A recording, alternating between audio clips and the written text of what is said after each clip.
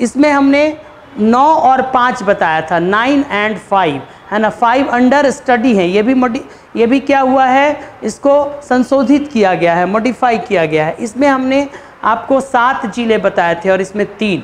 ठीक है? तो ये हमने बताया था। ये कोल्हान कमिश्नरी के अंतर्गत आता है। फिर हमने आपको बताया था कि इसमें लिखना क्या है। तो इसमें लिखना आपको है इंपॉर्टेंट फीचर्स तो इंपॉर्टेंट फीचर्स में हमने सबसे पहला जो बताया था लिखने के लिए, वो सॉयल पैटर्न सबसे फ्रेम बनाया था हमने। सॉयल पैटर्न हमने बताया था, मिट्टी का प्रतिरूप। हम लोग पढ़ रहे थे, सबसे पहला जोन जो है central central and eastern eastern plateau plateau है ना? एग्री एग्रो क्लाइमेट जोन और इसमें हमने बताया था एक फ्रेम बनाई है सब में इसी फ्रेम के तहत लिखना है। हमने ये भी बोला था। सबसे पहले सॉयल पैटर्न हमने बताया था कि ये जो सेंट्रल और eastern plateau agro climate zone है उसमें सॉयल जो है सॉयल में थोड़ा वेरिएबिलिटी है थोड़ा वेरिएशन है थोड़ा उसमें क्या बोलेंगे आ, मतलब वेरिएशन है। थोड़ा हम लोग चेंजेस उसमें देख रहे हैं। सब जगह यूनिफॉर्म नहीं है। हमने आपको बताया था कि इसमें लाल लाल मिट्टी लाल मिट्टी, है ना? फिर हमने आपको बताया था बलुई मिट्टी, लाल, बलुई, ठीक है, बलुई मिट्टी। बोकारो धनबाद वाले एरिया में, रांची में लाल मिट्टी है हाँ बलुई। और उसके बाद फिर हमने आपको बताया था काली लेटराइट छूट गया था, लेटराइट मिट्टी भी लिख लीजिए, क्योंकि लेटराइट मिट्टी भी यहाँ पाया जाता है। हम बताए थे, हम जब आपको पढ़ाए थे तो हम बताए थे राजमहल के पूर्वी भाग में लेटराइट सॉयल भी पाया जाता है, और यहाँ पर जलोड़ जलोड़ मिट्टी, ठीक है? तो इतना कुछ हमने आपको बताया था, ठीक है? समझ रहे हैं ना? तो ये हमने मिट्टी का पैटर्न बताया था। दूसरा जो हम लोग को लिखना ये है, वो है, दूसरा जो फ्रेम के अंतर्गत हम लोग जिसकी चर्चा करेंगे, वो है वर्षा प्रतिरूप। दूसरा, वर्षा प्रतिरूप वर्षा प्रतिरूप रेनफॉल पैटर्न रेनफॉल पैटर्न वर्षा प्रतिरूप। यहाँ पे सबसे पहला चीज़ हमको देखना है कि यहाँ वर्षा का मुख्य स्रोत क्या है? मानसून है, हमने बताया था, है ना? पहले भी। हमारे झारखंड का वर्षा का मुख्य जो सोर्स है, वो मानसूनी वर्षा है। तो यहाँ पर हम लोग लिखेंगे इसका रेनफॉल पैटर्न में कि यहाँ मानसून, मानसूनी वर्षा जो है, वो लेट से आता है, देर से आता है, देर से आता है और पहले चला जाता है। पहले वो लौट, वापस लौट जाता है। मतलब यहाँ पर अब क्यों ऐसा है भाई? ऐसा क्यों है? क्योंकि हम जानते हैं कि झारखंड को जब हम देखेंगे तो झारखंड में जो जो रेनफॉल है, बंगाल की खाड़ी से आता है। तो ये इधर से आता है, सबसे पहले ये वाले एरिया में आता है, फिर धीरे धीरे आगे बढ़ता है। तो लेट हो जाता है तो लेट से आता है और वापस पहले लौटता है। तो पहला जो रेनफॉल पैटर्न है कि मानसूनी वर्षा देर से आता है और लौटता पहले है। मतलब हम इसको कह सकते हैं, monsoon comes late and goes earlier monsoon comes late and goes क्या है? अर्लियर वो आता है आपका पहले और जाता है देर से, ठीक है? दूसरा चीज़ हम लिखेंगे कि ये वर्षा जो है अनइवन होता है। सेकंड वर्षा अनइवन है मतलब अनियमित होता है यहाँ पे। है ना? कभी बहुत ज़्यादा और कभी बहुत कम। ये ये हो गया अनियमित। और अनिश्चित, दो वर्ड यूज़ करेंगे अनसर्टेन अनसर्टेन और ये अनइवन होता है, दोनों चीज़ होता है अनसर्टेन भी और अनइवन भी। अनसर्टेन मतलब अनइवन मतलब अनियमित, उसका कोई रेगुलर नहीं है और अनिश्चित, कभी आया, कभी एक महीना सूखा हो गया, कभी एक महीना वो बारिश हो गया, ठीक है? उसके बाद यहाँ पे 80 परसेंट जो है रेन वो जो रेनफॉल है, जो वर्षा है, वो मानसून से होता है मानसून से। और बाकी जो है, वो हमने आपको बताया था, पहले भी नॉर्वेस्टर से भी वर्षा होता है, मई के महीने में। तो ये भी लिखेंगे। इसकी भी चर्चा करेंगे। आप पॉइंट आउट कर लीजिए नॉर्वेस्टर वर्षा।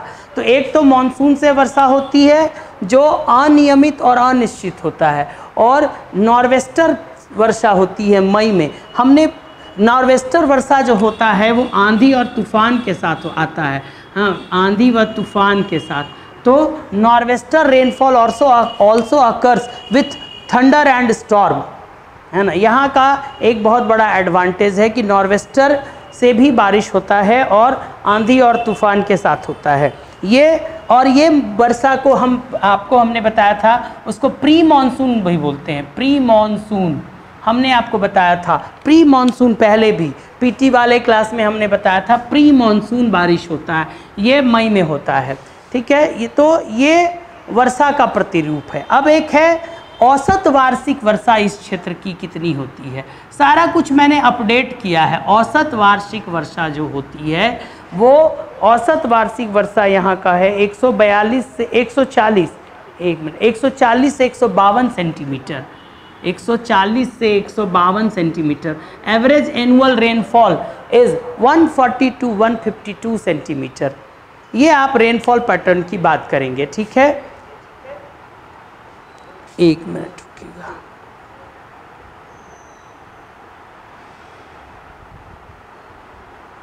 चलिए, ये आपका रेनफॉल पैटर्न हो गया। उसके बाद हम लोग बात करेंगे यहाँ पे अगला जो थर्ड पॉइंट है। थर्ड पॉइंट जो होगा इसका, वो आप चर्चा करेंगे फ़सल प्रतिरूप। फ़सल क्रॉप क्रॉप पैटर्न यहाँ पर फ़सल प्रतिरूप क्रॉप पैटर्न की बात हम लोग करेंगे। फ़सल, किस तरह का फ़सल यहाँ पे होता है? ठीक है? तो यहाँ पे जो फ़सल होता है, आप जान रहे हैं राइस तो होगा ही। विट राइस विट वो आपके नोट्स में लिखा हुआ है। हम एक बार केवल बोल दे रहे हैं। धान या चावल गेहूँ, एक दो चीज़ और है जो यहाँ पे होता है, जो झारखंड में सबसे ज़्यादा होता है, आलू। ये यहाँ पे लिखेंगे, अरहर, पोटैचो, अरहर और कपास। राजमहल में काली मिट्टी पाई जाती है और उस काली मिट्टी में कपास की भी खेती होती है। आप ये चीज़ जानते हैं, ठीक है ना? समझ रहे हैं ना? तो आप चावल, गेहूँ, कपास, है ना? अरहर, सरसों, रागी, सरसों भी होता है। सरसों, रागी ठीक है, ये सारे यहाँ पे होते हैं, इत्यादि, ठीक है, समझ रहे हैं ना? उसके बाद यहाँ पे इतना कुछ आप चर्चा करेंगे, है ना? इतना चर्चा आप करेंगे क्या क्या करेंगे? आप एक तो मिट्टी के बारे में लिखेंगे, दूसरा आप लिखेंगे यहाँ पे वर्षा प्रतिरूप कैसा है, तीसरा आप लिखेंगे यहाँ मुख्य फ़सल क्या है, चौथा वाटर अवेलेबिलिटी जल की उपलब्धता जल की उपलब्धता वाटर अवेलेबिलिटी है ना? कितना वाटर अवेलेबल होता है मिट्टी में, जो कृषि के लिए आवश्यक है? तो याद रखिएगा कि यहाँ काली मिट्टी को छोड़ के ब्लैक सॉइल को छोड़ के, बाकी सभी मिट्टी का जल धारण क्षमता जो होता है, जल धारण क्षमता क्या होती है? कम होती है। जल धारण क्षमता लो है water holding capacity of this region is quite low water holding capacity of this region is quite low जल धारण क्षमता कम होती है। केवल काली मिट्टी को छोड़ के एक्सेप्ट ब्लैक सॉयल्स काली मिट्टी को छोड़कर, क्योंकि आप जानते हैं काली मिट्टी सबसे ज़्यादा जल को धारण करके रहता, रखता है। तो काली मिट्टी को छोड़ के बाकी सभी, इस पूरे प्रदेश की वाटर होल्डिंग कैपेसिटी जो है वो लो है क्वाइट लो इसी कारण अब देखिए वाटर नहीं है ध्यान से सुनिएगा जल जब होता है वाटर जब होता है तो वो क्या करता है? आ, मिट्टी में जो पोषक तत्व हैं उसको जोड़ के रखता है उनको डिकम्पोज होने नहीं देता है। तो चूँकि यहाँ का जल धारण क्षमता कम है इसीलिए फर्टिलिटी भी क्या है? फर्टिलिटी इज़ ऑल्सो लो है ना? इसका उपजाऊपन, इस प्रदेश का उपजाऊपन भी थोड़ा कम है। इस प्रदेश का उपजाऊपन भी अपेक्षाकृत कम है। है ना? तो ये लिख सकते हैं आप कि यहाँ की जल धारण क्षमता कम है, इसीलिए क्या है? जल धारण क्षमता कम होने के कारण, ठीक है? यहाँ पर जो है, यहाँ की फर्टिलिटी जो है, बिल्कुल मतलब कम है, ठीक है? इतना कुछ आप लिखेंगे। इसी फ्रेम में सबको लिखेंगे।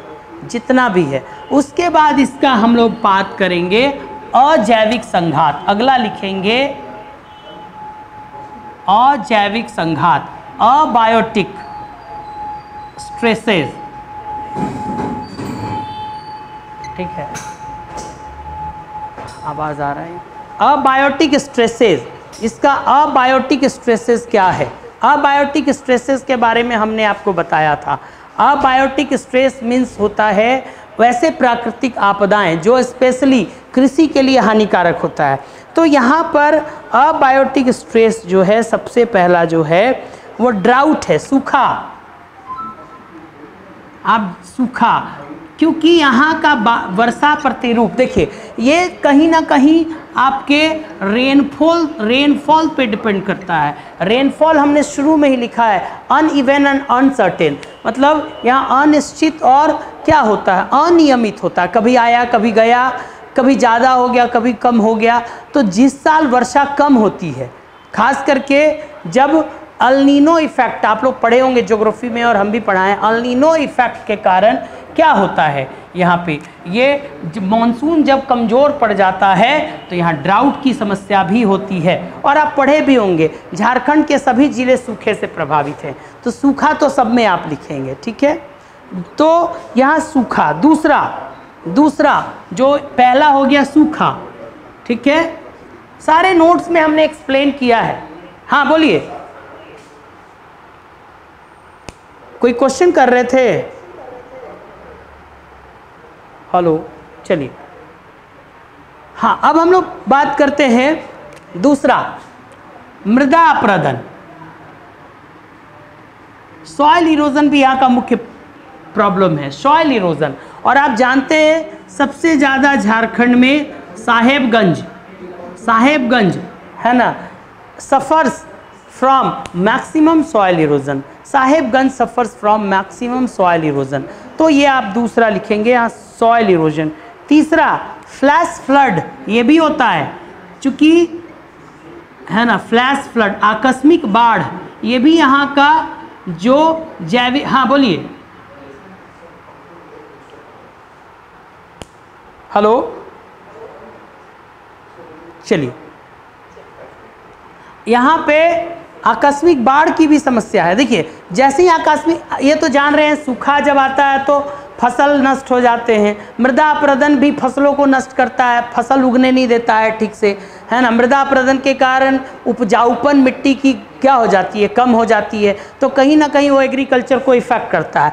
फ्लैश फ्लड भी इफ़ेक्ट करता है। मान लीजिए किसी साल बाढ़ आ गया अचानक गंगा नदी में बहुत बारिश हो गया, बाढ़ आ गया तो क्या होता है? फ़सल का फ़सल नष्ट हो जाता है तो इसको भी अजैविक संघात में हम शामिल करेंगे, ठीक है? उसके बाद आपका तो ये तीन चार चीज़ जो हैं, वो अच्छा हाँ एक चीज़ और, यहाँ पे, हम, जब आप पीटी के लिए पढ़े होंगे, झारखंड का जलवायु, आपने झारखंड के जलवायु को पढ़ा है तो आप ये भी पढ़े होंगे कि ये हमारा जो, ये जो है ये जो क्षेत्र है, वो एक मिनट। ये जो है, ये ये ये क्षेत्र जो होता है, नॉर्वेस्टर प्रभावित क्षेत्र है।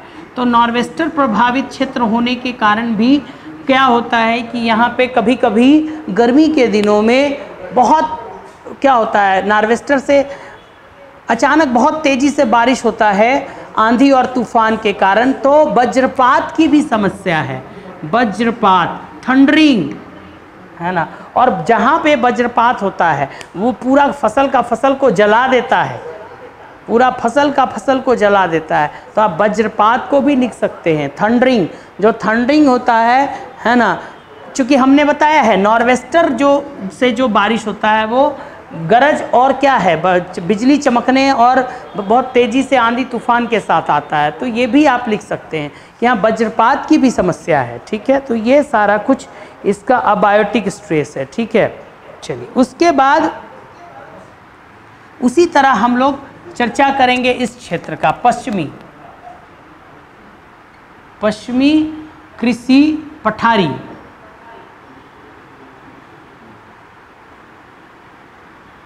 कृषि जलवायु प्रदेश। ठीक है western plateau western plateau agro climate zone western plateau agro climate zone की हम लोग चर्चा करेंगे। तो इसमें भी हम लोग देखेंगे, हमने शामिल ज़िले तो बता दिया। इसमें भी हम लोग सबसे पहले सॉयल पैटर्न देखेंगे। देखिए, इसका पश्चिम का, आप इसको बनाइएगा सॉयल पैटर्न फिगर बनाइए, सब लोग फिगर बनाइए। ये वाला क्षेत्र। सॉरी ठीक है। ये आप जानते हैं ना, ये पाठ क्षेत्र है। तो पाठ क्षेत्र है। तो यहाँ देखिए, ये पूरा जो क्षेत्र है, ये पूरा क्षेत्र में लाल मिट्टी है। सॉइल पैटर्न पहला। और ये वाला क्षेत्र में लेटराइट मिट्टी है।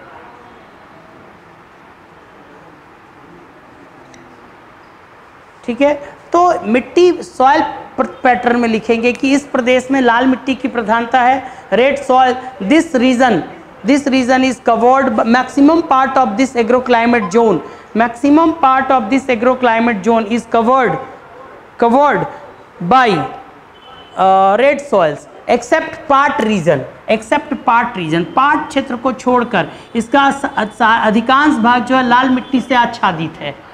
पार्ट क्षेत्र में कौन सी मिट्टी है? लेटराइट मिट्टी है। इसमें इसको लैंग्वेज में लिख देना है। है ना? बस थोड़ा सा इतना लिख के और फिगर में आप दिखा दीजिए। तो ये हो गया इसका सॉयल पैटर्न ठीक है? उसके बाद यहाँ पे हम लोग बात करेंगे आ, दूसरा हम लोग बात कर रहे थे रेनफॉल पैटर्न रेनफॉल पैटर्न दूसरा वर्षा प्रतिरूप।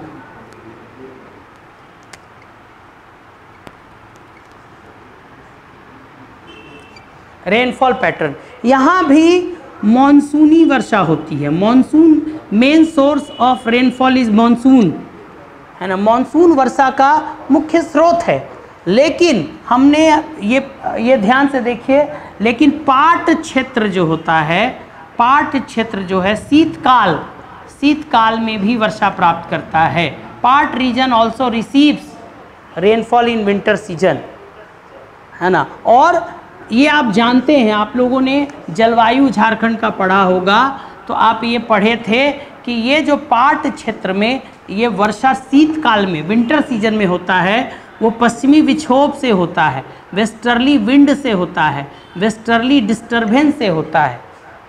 ठीक है, ये ऑब्जेक्टिव में पूछे जा सकते हैं आपके, है ना? झारखंड में पाट क्षेत्र में शीत, कहाँ पर शीतकालीन वर्षा होता है? तो पाट क्षेत्र में किससे होता है? पश्चिमी विक्षोभ से होता है हाँ वेस्टर्ली विंड से होता है, ठीक है, समझ रहे हैं ना?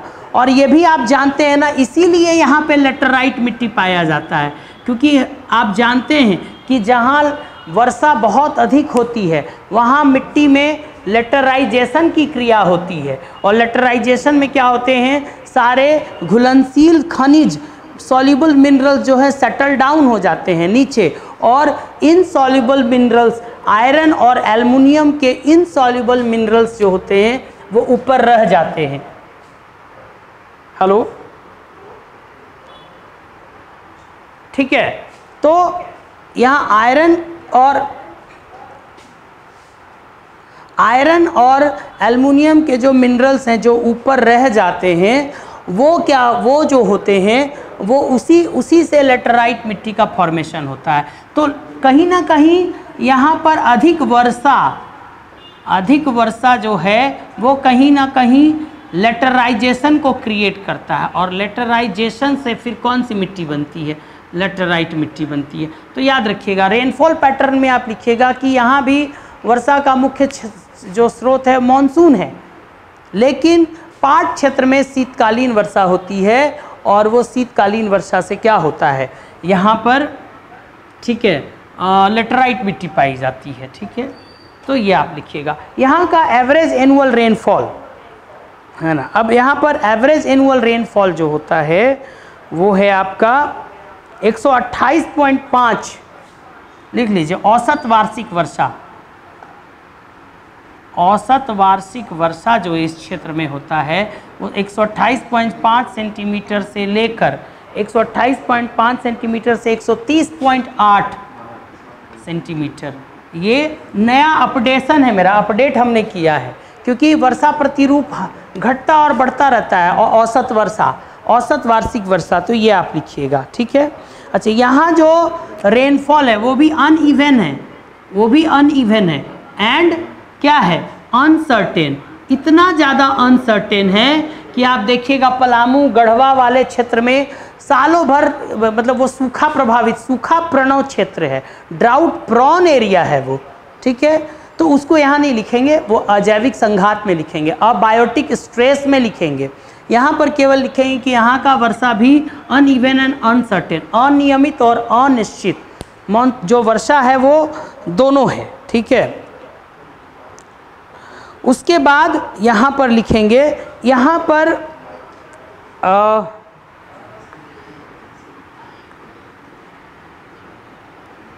ये हो गया वर्षा प्रतिरूप।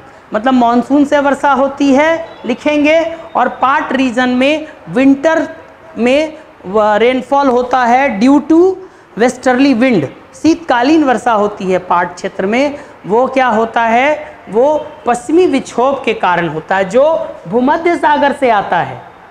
भूमध्य सागर से वो पश्चिमी विक्षोभ आता है और हमारे झारखंड में भी वर्षा कराता है। लेकिन यहाँ भी वर्षा अनिश्चित और अनियमित होता है। उसके बाद हम लोग जो है अ,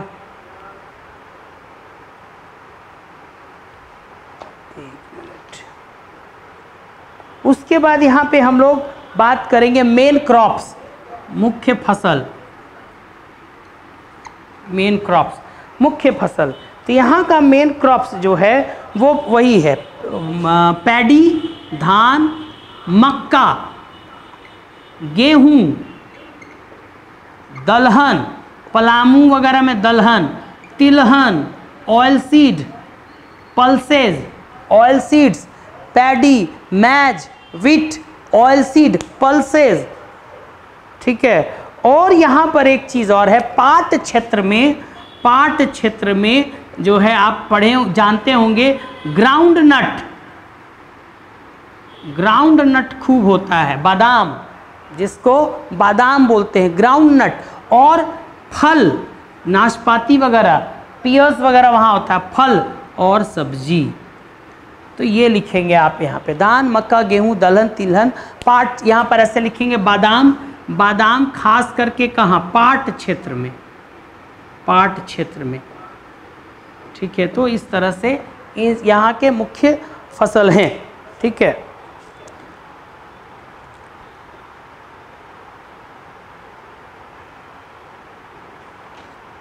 ठीक है। अ, उसके बाद फिर हम लोग बात करेंगे अगला जो है वो water hold water availability water availability जल की उपलब्धता। हमने आपको बताया था कि उपलब्धता केवल काली मिट्टी का वाटर होल्डिंग कैपेसिटी अधिक है क्योंकि यहाँ अधिकांश लाल मिट्टी है तो लाल मिट्टी का वाटर होल्डिंग कैपेसिटी बहुत कम होता है। है ना? तो लिखेंगे, यहाँ का लाल मिट्टी मतलब अधिकांश मिट्टी लिचिंग जो लेटराइट मिट्टी है, दोनों का, दोनों मिट्टी का जो जल धारण क्षमता वो काफ़ी कम होता है। लिख लीजिए, दोनों मिट्टी की, लाल मिट्टी और लेटराइट, दोनों मिट्टी की जल धारण क्षमता काफ़ी कम होती है। इसी कारण उपजाऊपन भी, मिट्टी की उपजाऊपन fertility of soil is also low उपजाऊपन भी कम होता है इसका। Fertility of soil is also low समझ रहे ना? क्योंकि जब तक मिट्टी में जल धारण करने की क्षमता नहीं होगी। उसमें जो न्यूट्रिएंट्स हैं, उसमें जो पोषक तत्व हैं, वो क्या होंगे? प्रेजेंट नहीं होंगे। यदि मिट्टी में वाटर होल्डिंग कैपेसिटी कम है तो जो न्यूट्रिएंट्स हैं, पोषक तत्व हैं, वो डिकम्पोज हो जाते हैं, वो अपघटित हो जाते हैं और पोषक तत्व की कमी हो जाती है। तो कहीं ना कहीं जल जो है वाटर जो है, वो फर्टिलिटी के लिए रिस्पॉन्सिबल है। तो यहाँ पर आप इसको ऐसे लिखेंगे। इसी कारण इसकी उपजाऊपन जो होती है वो कम है। ठीक है? उसके बाद फिर हम लोग चर्चा करेंगे यहाँ पे इसके अबायोटिक अच्छा अबायोटिक स्ट्रेस, अजैविक संघात।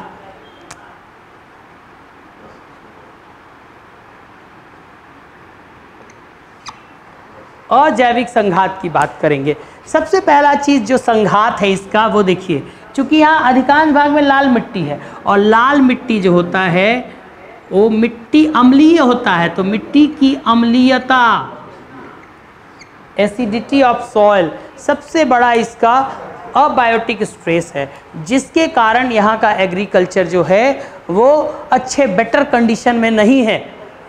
तो ये लिखेंगे, मिट्टी की अम्लीयता, नोट्स में एक्सप्लेन किया हुआ है कि मिट्टी की अम्लीयता होने के कारण यहाँ का जो प्रोडक्टिविटी है, वो कम है। Productivity of agriculture is low है ना? और फर्टिलिटी भी लो और इसका उपजाऊपन भी कम है। Due to acidity of soil due to acidity of soil fertility as well as productivity of agriculture is quite low ठीक है? दूसरा जो इसका संघात है ध्यान से सुनिएगा। भूस्खलन भूस्खलन लैंड स्लाइडिंग व मृदा क्षरण या मृदा का अप्रदन। क्योंकि पाट रीजन आप जानते हैं, झारखंड का सबसे ऊँचा क्षेत्र है और बरसात और बारिश भी बहुत ज़्यादा होता है। तो बारिश ज़्यादा होने के कारण क्या होता है कि लैंड का स्लाइडिंग होता है, भूस्खलन। और जब भूस्खलन होता है तो मिट्टी के ऊपरी परत का उपजाऊपन या उसका अप्रदन होता है। अप्रदन के बारे में तो आप लोग जानते होंगे, जब मिट्टी के ऊपरी परत का क्षरण होता है और उसका उपजाऊपन, फर्टिलिटी, जब उसका इरोजन होता है और फर्टिलिटी उसका ख़त्म होता है तो उसको हम लोग सॉयल इरोजन बोलते हैं। तो भूस्खलन और land sliding and soil erosion is also abiotic stress of this region. ये दो हो गए आपके। तीसरा जो इसका है,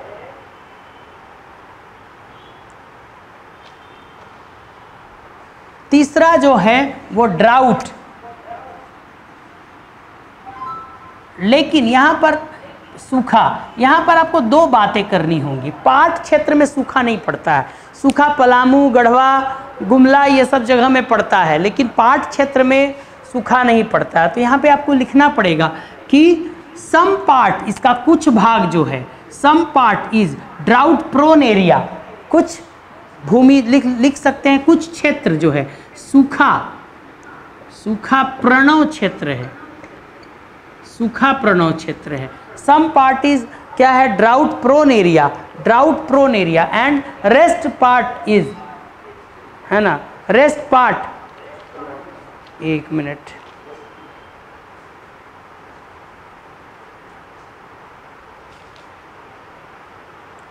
But rest part is normal normal होता है रेस्ट पार्ट सामान्य नॉर्मल क्योंकि ये जैसे पाट क्षेत्र, जो है पाट क्षेत्र नॉर्मल होता है तो आप लिख सकते हैं कि कुछ क्षेत्र जो है some part is drought prone area and rest part is normal just for example part region कुछ क्षेत्र सूखा प्रणव क्षेत्र के अंतर्गत आते हैं, जबकि कुछ क्षेत्र जो होते हैं, वो सामान्य होते हैं। कुछ क्षेत्र सामान्य होते हैं, ठीक है? उसके बाद यहाँ पे आकस्मिक बाढ़ वगैरह नहीं आता है। आकस्मिक बाढ़ वगैरह यहाँ पे आप नहीं बोलेंगे उसको, है ना? वो आकस्मिक बाढ़ जो है, केवल यहाँ पे देख लीजिए, मैं बताता हूँ फ्लस अच्छा इसको फिर बताऊँगा, है ना? तो ये ये तीन चार ऐसे हैं या फिर से समझ लीजिए।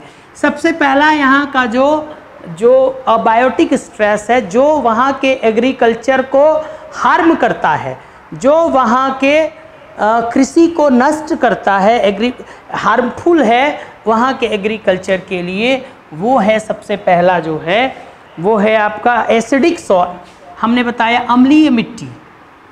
अम्लीय मिट्टी के कारण क्या होता है? उसका उपजाऊपन कम होता है। दूसरा हमने बताया इसका लैंड स्लाइडिंग या भूस्खलन व मृदा क्षरण या मृदा अप्रदन ये दूसरा है। तीसरा सूखा ड्राउट लेकिन कुछ क्षेत्र जो है वो सूखा प्रणव क्षेत्र है और कुछ जो है सामान्य है। ये हो गया। उसके बाद हमने चौथा क्या बोला?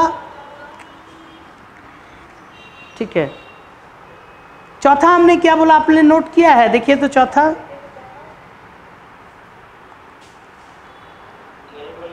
और नहीं बोले हैं। तीन ही बोले हैं हम।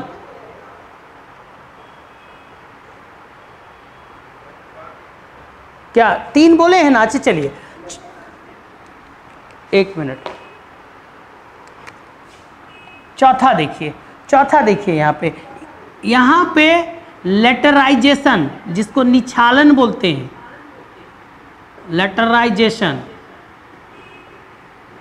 ये भी एक ऐसा संघात है जो कृषि को क्या करता है? नुकसान पहुंचाता है। क्योंकि आप जानते हैं इसमें कि सारे जितने भी सॉल्यूबल मिनरल हैं, वो जमी, मिट्टी के अंदर चले जाते हैं। मतलब जहाँ जो कृषि के लिए उपयुक्त नहीं होता और ऊपर का उपजाऊपन खत्म हो जाता है। तो लीचिंग भी थोड़ा सा लीचिंग के बारे में वहाँ लिख दीजिएगा। इसको लेटराइजेशन या लीचिंग भी बोलते हैं, इंग्लिश में।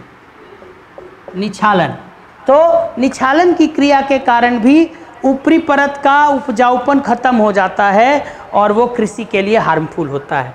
एक और चीज़, पांचवा पांचवा पांचवा जो अबायोटिक स्ट्रेस या अजैविक संघात है, वो है फ्रॉस्ट फॉलिंग फ्रॉस्ट फॉलिंग है ना? फ्रॉस्ट मतलब पाला पाला का गिरना या पाला का क्या बोलेंगे? निर्माण फॉर्मेशन यहाँ चूँकि हम जानते हैं कि पाट क्षेत्र में जो है सबसे ठंडा क्षेत्र है तो ठंडे के दिनों में आप लिखेंगे ऐसे, ठंडे के दिनों में यहाँ पे पाला का भी प्रॉब्लम होता है frost falling frost falling also occurs in winter season frost falling also occurs in winter season in समझ winter season in part region और ये फ्रॉस्ट फॉलिंग भी कहीं ना कहीं क्या होता है? फ़सल को नष्ट करता है। And this also destroy the large area of crop and the large area of vegetation और ये फ़सल का एक बहुत बड़ा हिस्सा को भी क्या करता है? वो नष्ट करता है। तो ये पाँच अजैविक संघात यहाँ हैं। अब ऑब्जेक्टिव के लिए एक सवाल मैं बताता हूँ। आप नोट कर लीजिए। पूछा जाएगा कि कौन सा कृषि जलवायु प्रदेश सबसे अधिक अजैविक संघात से प्रभावित है? तो यही क्षेत्र है। ये केवल बाढ़ को छोड़ के बाकी मैक्सिमम सारा कुछ यहाँ पे है।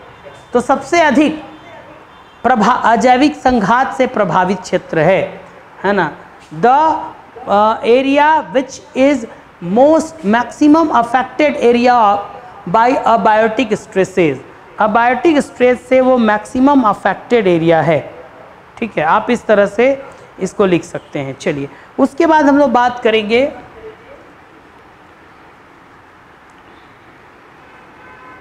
आवाज़ जा रही है ना आप लोगों की ठीक से? चलिए, अब देखिए। अगला जो हम लोग बात करेंगे हाँ हाँ बोलिए।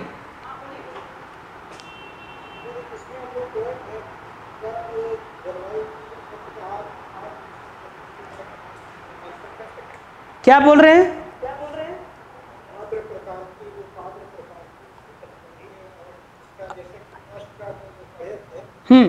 हम्म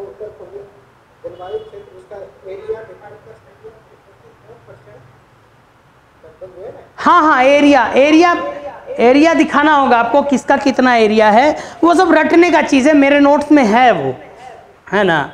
आप एरिया दिखाएँगे एरिया वहाँ पे दिखाना पड़ेगा, ठीक है ना।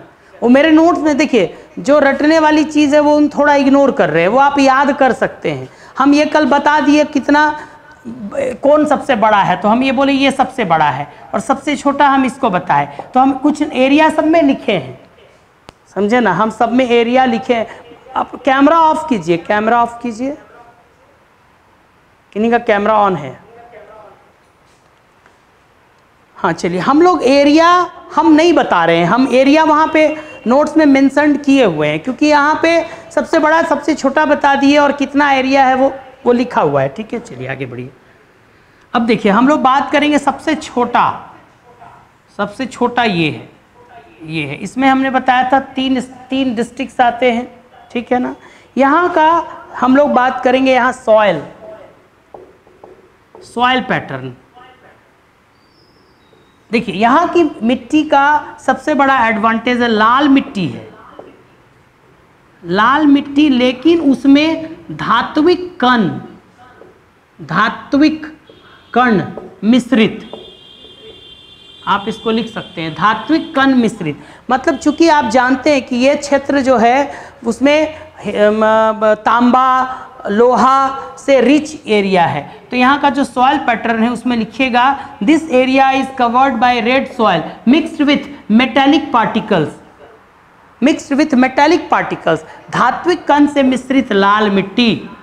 इसी कारण इसका उपजाऊपन भी कम है। उपजाऊपन कम है।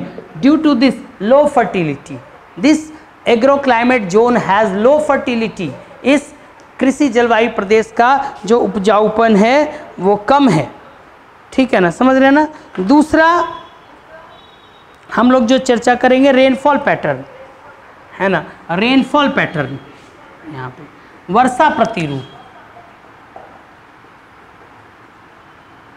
यहाँ भी मॉनसून से वर्षा होता है।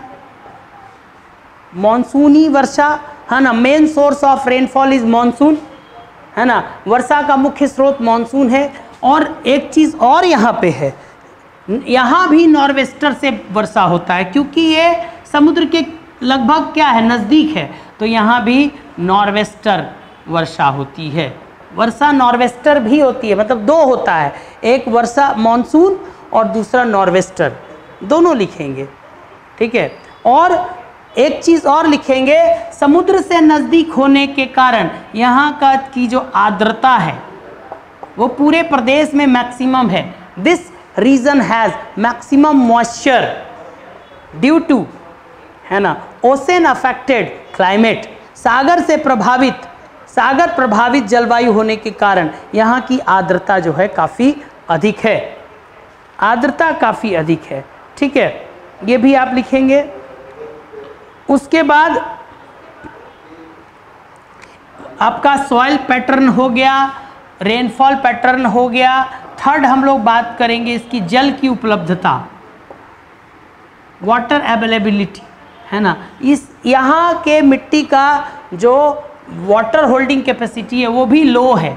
कहने का मतलब है कि पूरे झारखंड का वाटर होल्डिंग कैपेसिटी लो है। तो जब लो है, इसीलिए फर्टिलिटी भी लो है। तो water holding capacity is quite low and hence and hence soil fertility is also low soil fertility भी यहाँ का क्या है? लो है। समझ रहे हैं ना? उसके बाद एक और चीज़ है यहाँ का। Abundance of abundance of forest इस क्षेत्र की एक मुख्य विशेषता ये भी है यहाँ जंगल से यह वन से आच्छादित कृषि जलवायु प्रदेश है। वन से आच्छादित कृषि जलवायु प्रदेश है ये, है ना? एबंडेंस ऑफ़ फॉरेस्ट जैसे कोरहा पुरहाट सारंडा, कोल्हान, ये सब वन से आच्छादित क्षेत्र हैं। Porahat Kolhan, Saranda are covered by dense forest Porahat Kolhan, Saranda covered by dense forest. बहुत घने वन से वो आच्छादित है। ठीक है? ये इतना कुछ आप लिखेंगे। उसके बाद मुख्य फ़सल। मुख्य फ़सल। आप लोग ये समझ गए ना कि लिखना क्या है। मेन क्रॉप्स तो मेन क्रॉप्स भी आपका यहाँ पे है पैडी, धान, गेहूँ, ज्वार, बाजरा। याद रखिएगा, ज्वार, बाजरा। अलसी, जिसको लीन सीड बोलते हैं, और वेजिटेबल अभी ये क्षेत्र जो है, इसमें यहाँ पे पटमदा पटमदा जो है, पटमदा चांडिल में पड़ता है, वो सब्ज़ी की खेती के लिए फ़ेमस है। तो आप यहाँ पर क्या क्या लिखेंगे? धान, गेहूँ, मक्का, ज्वार, बाजरा, ठीक है ना? और तिलहन और क्या है सब्ज़ी? ये आप लिखेंगे, ठीक है? इतना कुछ। उसके बाद हम लोग यहाँ का एवरेज एनुअल रेनफॉल कितना है? तो एवरेज एनुअल रेनफॉल यहाँ का 142 से 155 सेंटीमीटर है। ये अपडेट किया हुआ डाटा है मेरा 142 से 155 सेंटीमीटर ठीक है, आप इसको लिखेंगे। ठीक है, समझ गए? उसके बाद एक और एडवांटेज यहाँ का है कि यहाँ, ये एक ऐसा क्षेत्र है जो यहाँ नहर से खेती की जाती है। है ना? Irrigation facility is available by canals irrigation facilities available by canals है ना? नहरों से सिंचाई की सुविधा इस क्षेत्र में उपलब्ध है। ठीक है? चलिए। यहाँ का आप देखिए, अजैविक संघात।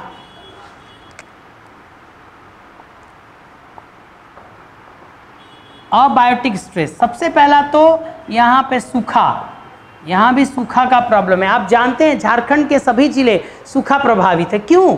क्योंकि सभी ज़िले का जो वर्षा है, वो अनसर्टेन और क्या है? अनसर्टेन है और अनइवन है। इसलिए सूखा तो लिखेंगे ही। दूसरा, आकस्मिक बाढ़। आप जानते होंगे, पूर्वी सिंहभूम, खास करके जमशेदपुर फ्लैश फ्लड से अफेक्टेड है। तो फ्लैश फ्लड तीसरा, यहाँ पे भी लेटराइजेशन होता है, निछालन। यहाँ पे भी लिचिंग होता है, क्योंकि आप पढ़े होंगे पीटी के लिए कि झारखंड में तीन जगह लेटराइट मिट्टी पाया जाता है। तीन जगह। तीन जगह लेटराइट सॉइल और कौन कौन और लेटराइट सॉइल वहीं पाए जाते हैं जहाँ वर्षा खूब होती है। तो एक हमने आपको बताया है, राजमहल के पूर्वी क्षेत्र में लेटराइट। लेटराइट मिट्टी पाई जाती है, क्योंकि यहाँ लेटराइजेशन होता है। पाट क्षेत्र में लेटराइट मिट्टी और यहाँ पर लेटराइट मिट्टी। झारखंड में ये तीन जगह लेटराइट मिट्टी तो लेटराइट मिट्टी क्यों पाए जाते हैं? क्योंकि यहाँ पर वर्षा सबसे ज़्यादा, सॉरी, यहाँ वर्षा अधिक होती है।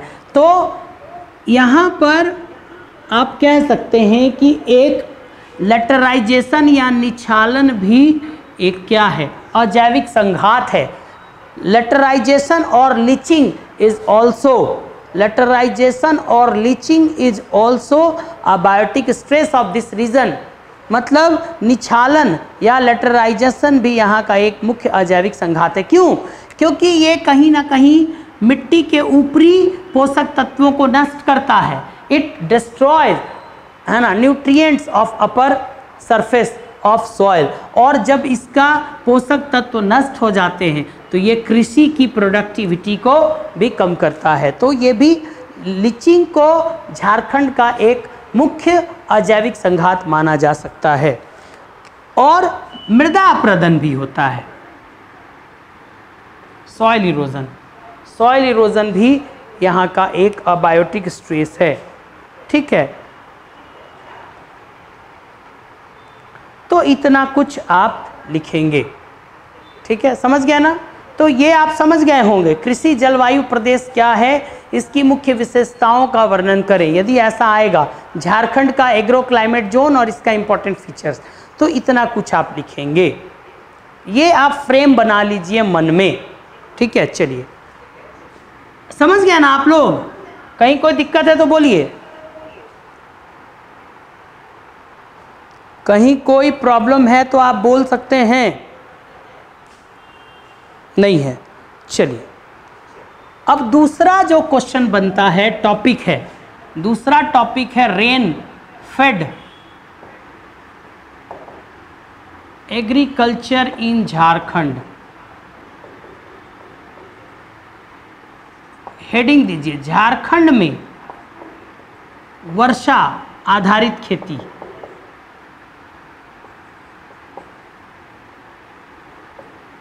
सिलेबस में इसको वर्षा पारित लिखा हुआ है। वर्षा पारित। हिंदी हाँ बोलिए।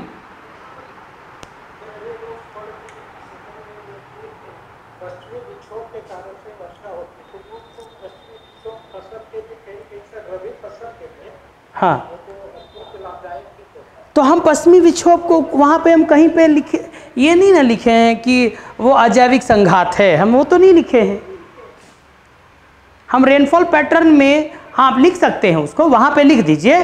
पश्चिमी विक्षोभ जहाँ जहाँ आता है से वर्षा होता है और रबी फ़सल के लिए लाभदायक लिख सकते हैं।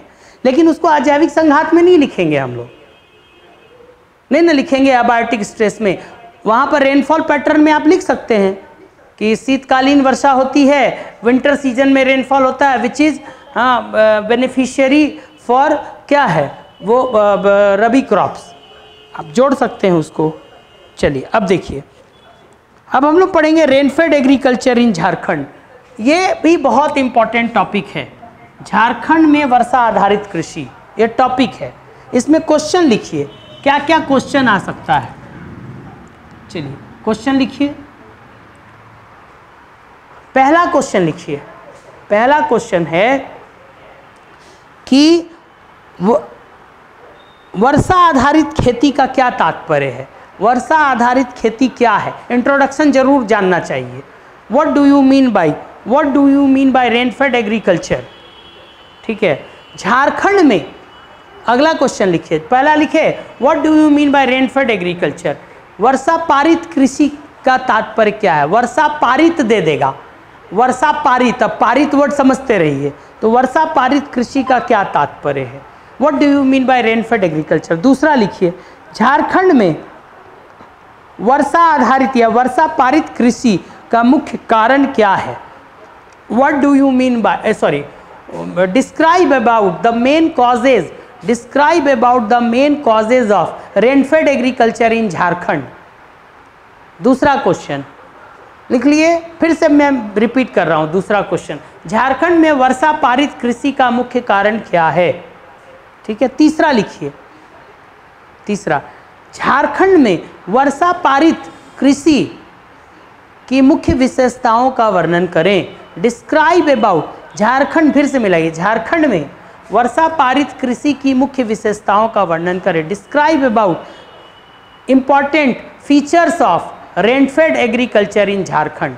Describe about important features in rainfed agriculture of Jharkhand. अब देखिए अब समझिए इसको। वर्षा पारित कृषि क्या है? देखिए, कृषि को फिर से जल की उपलब्धता मतलब जल की, जल स्रोत के आधार पर कहिए वाटर सोर्स वाटर सोर्स के आधार पर हम लोग एग्रीकल्चर को कल्चर को हम लोग दो भाग में बांटते हैं। एक हो गया सिंचित कृषि और एक हो गया वर्षा पारित कृषि या वर्षा आधारित कृषि। ठीक है? समझ गए? इसको बोलते हैं इरिगेटेड एग्रीकल्चर और इसको बोलते हैं रेनफेड एग्रीकल्चर इंग्लिश में। समझ गए? कहता, कहा जाता है कि यदि किसी प्रदेश में, ध्यान से सुनिएगा यह एक क्राइटेरिया है यहाँ पे। यदि कृषि किसी भी प्रदेश में जो कल्टीवेटेड जो कल्टीवेटेड एरिया है मतलब जो कृषि योग्य भूमि है, जिसमें कृषि की जाती है कल्टीवेटेड एरिया में 50 परसेंट है ना, तक यदि वाटर का सोर्स यदि जल का स्रोत कृत्रिम सिंचाई है मतलब नदी तालाब सॉरी नदी बोल रहे नहर, तालाब, कुआँ बोरवेल, यदि वो सबसे सिंचाई किया जाता है 50 परसेंट तो वो इरिगेटेड एग्रीकल्चर हो जाएगा उस प्रदेश का। और मोर यदि 50 से ज़्यादा, यदि वो क्या है 50 से ज़्यादा, यदि क्या हो, वो वहाँ की कृषि योग्य भूमि जो है कल्टीवेटेड एरिया में सिंचाई जो है, वर्षा से होती है, वर्षा जल से। तो उसको बोलते हैं वर्षा पारित कृषि। वर्षा पारित कृषि। जैसे आप कह सकते हैं पंजाब। पंजाब जो है इरिगेटेड एग्रीकल्चर है वहाँ। वहाँ एग्रीकल्चर का मेन सोर्स जो है, वो कृत्रिम सिंचाई है artificial irrigation system main source is artificial irrigation system लेकिन झारखंड की बात करते हैं तो झारखंड में जो है, वो 80 मोर देन मतलब 80 नियर अबाउट 80 परसेंट जो है, वो खेती जो है, वो क्या है? वो आपका वर्षा पे डिपेंड है। ठीक है? तो इसीलिए झारखंड की कृषि को हम वर्षा पारित कृषि बोलेंगे। ये बना लीजिए आप। ठीक है? क्राइटेरिया है कि 50 परसेंट या उससे ज़्यादा, यदि सिंचाई कृत्रिम स्रोतों से होता है if irrigation of cultivated area is done by artificial sources of irrigation and it it is more than 50 percent then this agriculture is known as irrigated agriculture यदि कृषि योग्य भूमि में सिंचाई जो है का 50 प्रतिशत या अधिक कृत्रिम स्रोत से होता है तो वहाँ की इस कृषि को सिंचित कृषि बोलते हैं। और नहीं तो वो वर्षा पारित कृषि होगा। 50 या 50 से अधिक यदि क्या हो, वर्षा जल पर अधिक आधारित हो तो वर्षा पारित कृषि। तो आप यहाँ पर इसको चर्चा करेंगे कि झारखंड की कृषि वर्षा पारित कृषि है, क्योंकि यहाँ जो है पूरी खेती जो है, वो क्या है? वो वर्षा जल पर आधारित है।